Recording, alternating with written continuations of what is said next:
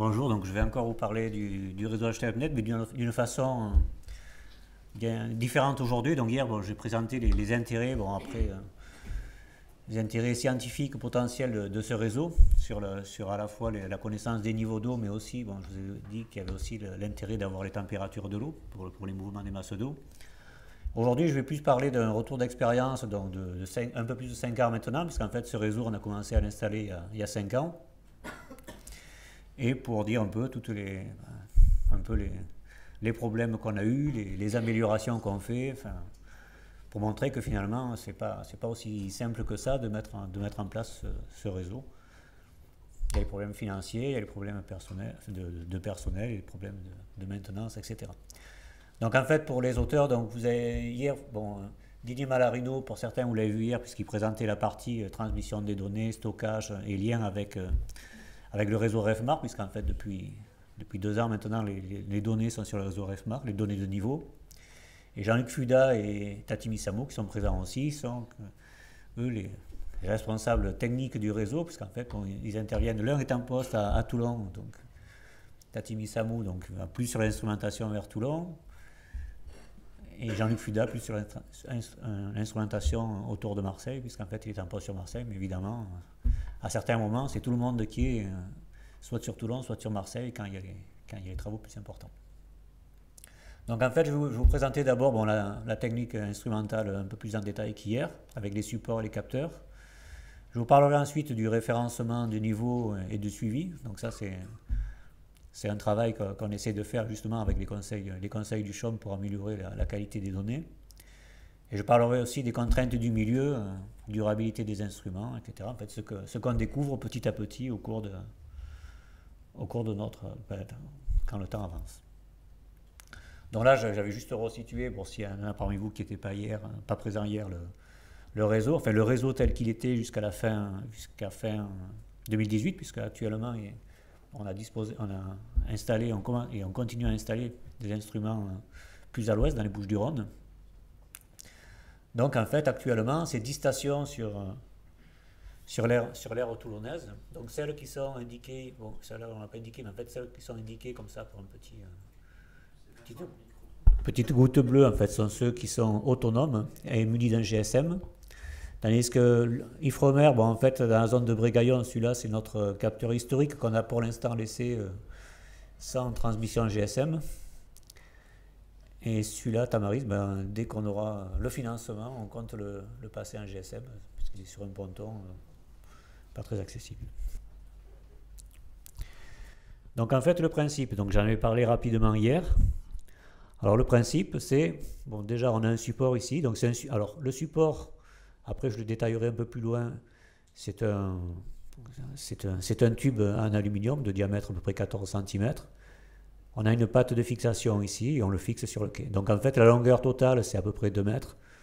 Donc euh, en gros, entre ici, le capteur émergé, bon, j'ai mis la flèche un peu bas, il est, il est, disposé presque en haut du capteur pour être toujours hors de l'eau et le capteur évidemment immergé, ben, le but c'est qu'il soit toujours dans l'eau. Alors il n'y a, pas, a pas un fort marnage, donc c'est vrai que c'est quelque chose qui est bien adapté par exemple en Méditerranée, en tout cas dans notre zone. Bon, c'est vrai que pour des zones de plus fort marnage, ce n'est pas forcément euh, le système qui serait le, plus adapté. Encore que bon, de toute façon, après il y a la possibilité d'avoir des, câbles plus longs. Hein.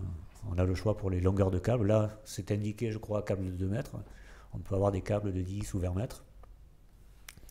Donc en fait, sur les, sur les caractéristiques des capteurs, bon, là j'ai indiqué par exemple les, les, capteurs, donc euh, celui qu'on met en haut muni d'un GSM, et ici euh, les, derniers qu'on a mis euh, immergés avec des précisions. Alors les précisions, alors les premiers ils avaient une certaine précision. Là, j'ai mis deux séries différentes, donc en fait on essaye en fonction de l'évolution et des finances d'essayer d'améliorer la, d'améliorer la, la résolution à la fois la résolution en pression pour les niveaux et à la fois la résolution en température, parce que bon, si on peut avoir une meilleure résolution en température, c'est mieux. Encore que, bon, de toute façon, comme je l'ai montré hier, pour nous, ce qui est important pour les températures, c'est de voir vraiment les mouvements de, masse d'eau associés à des phénomènes comme les upwelling, downwelling ou autres, mais pas des phénomènes plus fins de, circulation liés au gradient de, masse volumique dans la circulation thermohaline. Donc en fait, pour, le, pour, les, mesures, alors ça aussi, alors les mesures, en fait, on a, le système permet de faire des mesures, alors on choisit la, fréquence d'échantillonnage, ou la période d'échantillonnage. Donc on avait travaillé jusqu'à fin 2018 à 10 minutes. Donc là, on est, passé à 2 minutes. Alors on a vu euh, hier matin, par exemple, dans les présentations sur les alertes de tsunami ou autres, ou alors pour nous aussi qui étudions les sèches, par exemple, les oscillations portuaires, hein. bon, 10 minutes, ça fait un peu beaucoup, parce qu'en fait, souvent, on a des oscillations euh, plus faibles. C'est intéressant aussi pour les plages qui sont exposées au vent d'essayer de, voir les oscillations basse fréquence. Alors bon, on espère qu'avec 2 minutes, on va, on va, pouvoir voir s'il y a des oscillations euh, à quelques, à quelques minutes. Donc ça, c'est important aussi pour les, pour les problèmes de, submersion, parce qu'en fait, il y a eu une présentation aussi, mais c'était avant-hier, qui, et c'est vrai qu'on le voit, qui, montrait que les, les ondes longues ont tendance, des fois, à jouer un rôle important dans, les plages, par exemple. Quand on a, quand on a une oscillation euh, des ondes infragravitaires, eh bien, elles, jouent un rôle important dans, la capacité des, vagues à éroder le, à éroder le littoral, puisqu'elles arrivent plus haut sur, sur le littoral. Donc en fait, un problème de ce, système, c'est que la, mesure est, quand même ponctuelle. Ce n'est pas une moyenne sur 10 minutes ou une moyenne sur 2 minutes. Donc il faut, ben, il faut espérer que le plan d'eau n'est pas trop agité. S'il y a des oscillations haute fréquence, alors les plus hautes fréquences, on va dire, c'est pas très gênant parce que ben, si elles sont vraiment en surface, elles n'affectent pas trop une profondeur à 50 cm. Par contre, s'il y a des oscillations plus basses fréquences, ben, des, des vagues par exemple, elles peuvent, elles, peuvent euh, donc amener une certaine incertitude dans les, dans les mesures. Donc en fait, les instruments, ils sont, ils sont, ils sont placés dans un tube en PVC qu'on glisse dans le, dans le tube, en, dans le tube en, aluminium. Et donc là, j'ai juste représenté le, la, partie, disons, la partie basse. Hein, on voit une coupe ici, enfin on voit la partie immergée, donc le tube vu de dessous. Et en fait, ce tube-là, euh, il est amovible, donc ça j'en reparlerai tout à l'heure. Pourquoi? Parce que pour, pour la maintenance, eh bien, ça, ça permet de récupérer le tube PVC sans, toucher au, support qui est, installé sur les quais. Donc pour la mesure, eh bien comme, je vous ai dit, en fait, on mesure, a accès au niveau d'eau, enfin ou à la, hauteur d'eau plutôt, en calculant la différence de pression, enfin en, utilisant la différence de pression qui est donnée par le capteur immergé et par le capteur émergé. Alors en fait, la différence de pression, on, néglige la partie aérienne, qui est de l'ordre du mètre, qui est, faible. Alors on pourrait toujours aussi l'intégrer. Bon, ça, on n'a pas encore. Euh, on peut améliorer l'expression de, la hauteur d'eau en, prenant en compte cette hauteur-là. Pour la différence de hauteur, bien, ça fait intervenir la, masse volumique de l'eau, bien sûr. Alors, pour l'instant, on a juste pris une, salinité de 35 avec une température de 19, en s'assurant que quand la température change ou quand la salinité change, ça ne modifie pas trop le, les résultats. Donc euh, on a vu que bon, l'erreur est d'environ de, l'ordre du millimètre. Donc là, je vous ai représenté en fait ici, pour une salinité de 35, alors ça c'est plutôt l'océan que la Méditerranée. En Méditerranée, on a plus. Mais bon, comme on se trouve dans des ports où quand il y a des épisodes pluvieux, il y a peut-être de l'eau en surface qui est un peu dessalée, bon, c'est... On, a, choisi cette valeur pour l'instant, mais de toute façon, les, données, comment on peut les retraiter, puisqu'en fait, on, garde toujours les, évidemment les, mesures initiales que sont les, pressions dans, l'eau et dans l'air. Et donc on voit des variations, si on calcule des variations entre 1022 et 1028, on arrive à une erreur de 2%. S'il y a 50 cm d'immersion, ça fait à peu près un millimètre. Et là, c'est la variation du même ordre de grandeur en termes de, de densité, de la, de la salinité. Donc, et là, on s'est mis une température à 19. Donc en fait, pour l'instant, on peut, améliorer ce qu'on fait en utilisant euh, donc la, loi d'État en fait, qui donne la, masse volumique en fonction de la température, mais on n'a pas l'information sur la salinité. Alors en fait, ce qui se passe sur, les, capteurs que je vous ai montrés, en fait, actuellement, on est en train de, bah, tester sur deux stations, donc dans temps de berre, parce que bon, les temps de berre, des fois, c'est plus dessalé en surface, euh, des capteurs qui sont munis d'un capteur de salinité. Donc là, on va voir, sachant qu'on a déjà des problèmes, je vais en parler un peu de, salissure des, capteurs. Bon, ajouter un capteur. Alors, finalement, les capteurs piezo ne sont pas trop sensibles à ça. Par contre, les capteurs de, conductivité, on va voir, on va, tester ça et on va voir si, dans, le temps, ça, il faut beaucoup les, nettoyer souvent, etc. Ça, on va le voir. Mais ça permettrait évidemment, si on a à la fois la température et la salinité, d'avoir l'expression l'expression exacte ou, presque de la, de, la, de, la, de la densité et donc d'avoir une, relation entre la différence de pression mesurée et la, hauteur d'eau déduite qui soit le moins entaché de, possible d'erreur. Donc là, je vous ai parlé de mesure, finalement, on mesure une, hauteur, mais une hauteur qui n'est pas absolue. Donc il y avait encore, pardon, j'ai encore quelque chose à dire sur, sur les mesures. Donc euh, sur, sur, les deux systèmes, c'est-à-dire je vous ai dit qu'il y avait deux, deux, appareils qui mesuraient encore en, sans transmission GSM, qu'est-ce qui se passe? Eh bien, on vient de temps en temps avec l'ordinateur, on récupère les données. En fait, on n'a même pas besoin d'arrêter, on récupère, ça continue à mesurer. Et, c'est reparti pour, pour, Alors, si on est à 10 minutes, c'est 66 jours, avec les capacités, euh, donc euh, la batterie et, la, capacité mémoire qui, sont dans, dans, le capteur émergé. Là, on est passé à 2 minutes, donc en gros, on divise par, on divise par 5 les capacités mémoire et sans doute aussi batterie. Bon, là, on a l'exemple sur un, des appareils qu'on avait testé l'an dernier. Bon, la batterie a tenu un an. Donc après, ce qui est intéressant aussi, c'est qu'en fait, alors le GSM, alors là j'ai montré des exemples, donc ça c'est sur sur le site d'HGMnet où on voit en direct les, mesures des 30 à 60 derniers jours. Et des fois, il y a des trous dans les mesures. Alors pourquoi il y a des trous dans les mesures? Ben, Ça peut être tout simplement comme il y a un GSM, parfois en été, les, réseaux téléphoniques qui saturent ou le téléphone qui passe pas bien et du coup il y a des trous. Alors soit, bon, ben, c'est pas très, enfin, de toute façon on n'a pas le temps d'aller de, faire le tour des, instruments, mais si vraiment, par exemple, on voit qu'il y a des trous à un moment où il y a eu un épisode, météorologique qui, soit exceptionnel, on peut très bien après aller sur site. Disons que si on travaille, quand on travaille à 10 minutes, ça nous permettait de récupérer les 66 derniers jours. En travaillant en 2 minutes, on peut quand même récupérer, puisqu'ils sont stocker en même temps les 12 derniers jours. Donc c'est une... Pour l'aspect recherche, je vais dire, c'est intéressant parce que ça nous permet quand même d'avoir la, série de données, même s'il y a eu un problème à la transmission. Alors le problème, ça peut être avec le GSM, des fois ça nous est arrivé, ça peut être aussi le serveur qui, qui, tombe, enfin, qui a des problèmes pendant quelques jours, ça arrive donc. Euh, voilà, c'est une solution de repli qui, qui, est quand même intéressante d'un point de vue de la recherche. Donc ça peut, alors des fois ça peut aussi ne pas marcher. Alors, des fois on retrouve, vous voyez on va dire que des instruments comme ça, ben c'est pratique pour amarrer les bateaux, c'est pratique pour les pêcheurs aussi parce que c'est dans des zones qui ne sont pas sécurisées. Bon, pour l'instant on n'a pas trop eu de, on n'a pas, de vandalisme. On a, eu quelques, des fois retrouver l'appareil qui, qui, bon, les, les, capots qui avaient été ouverts, mais bon, pour l'instant ça n'a pas été disons qu'on essaye de pas trop attirer l'œil non plus avec ce type d'appareillage. Mais bon, après ça dépend des, ça dépend des endroits. Donc comme je le disais, pour l'instant, donc je vous avais dit qu'on mesurait des, des, hauteurs relatives.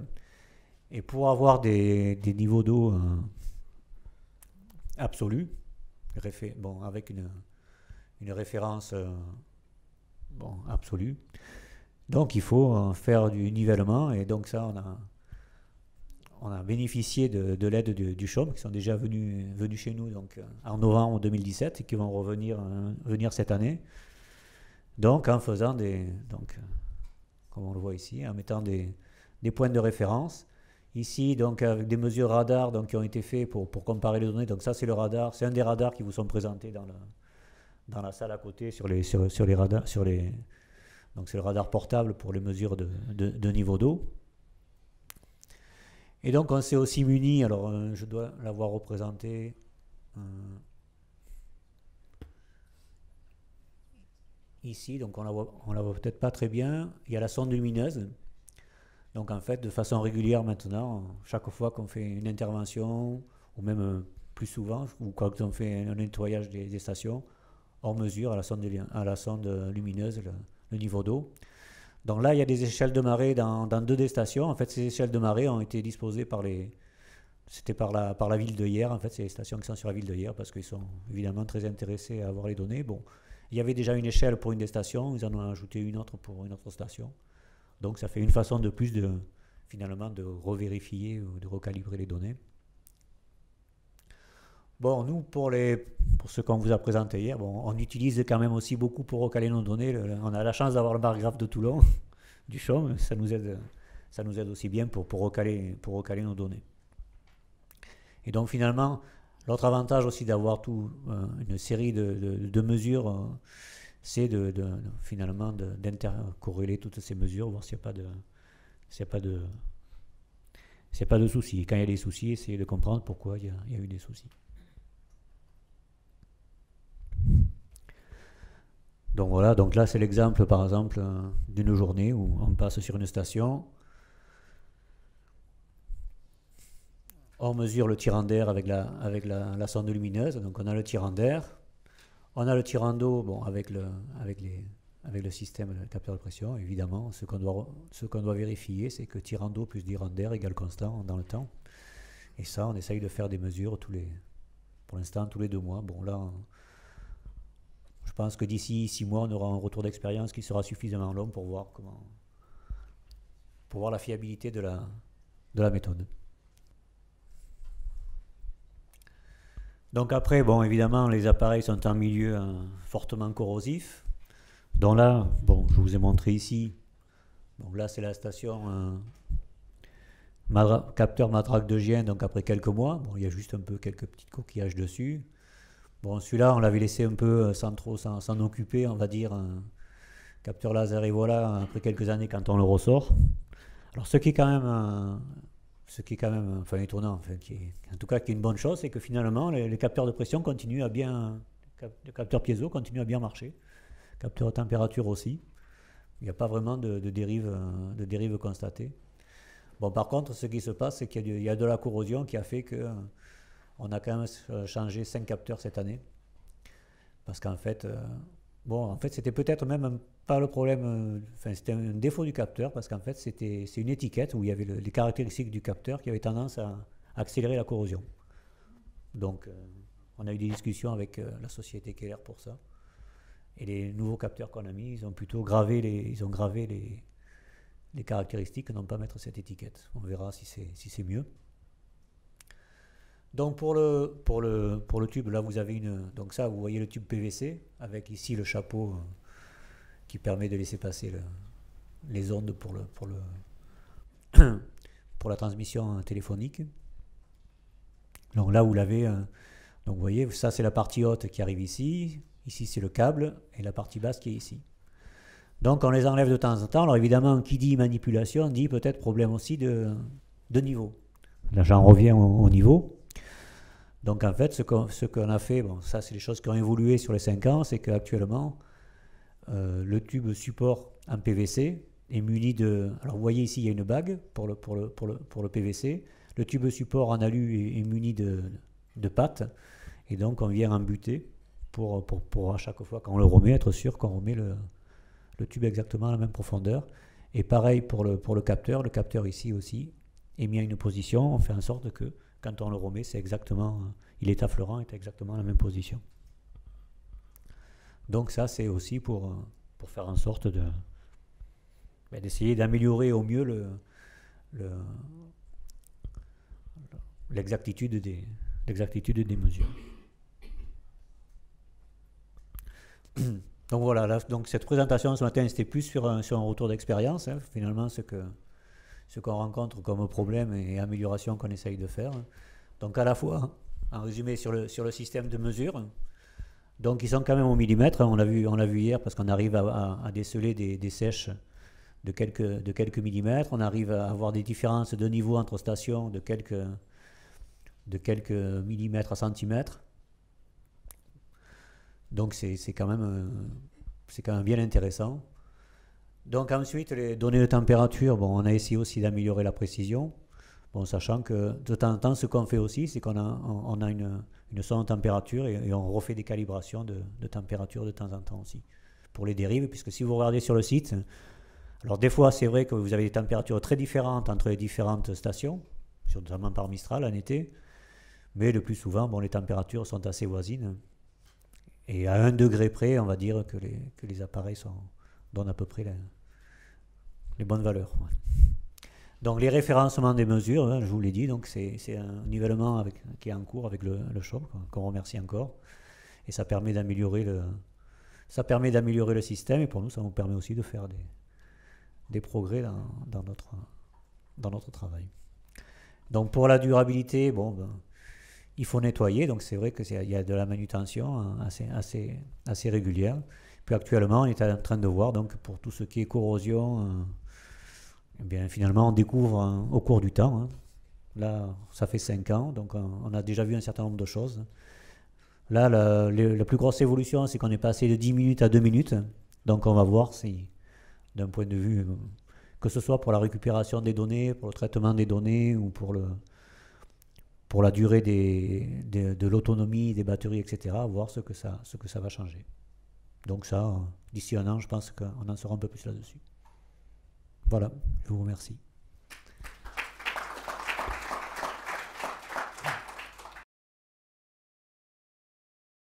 Est-ce que tu peux nous donner déjà le, le coût d'un système euh, euh, donc euh, capteur de pression, euh, température, donc sans la, le capteur de, salinité, mais avec, avec la transmission? Oui, l'ordre de grandeur, c'est entre 4 000 et 5 000 euros. Tout compris, le, le, support, le capteur immergé et le capteur émergé avec. enfin, un TT, oui, hors, taxe. Oui, entre 4 et 5 000 euros. bonjour, Stéphane Garcia de l'IGN. D'abord, je vous remercie pour cette présentation.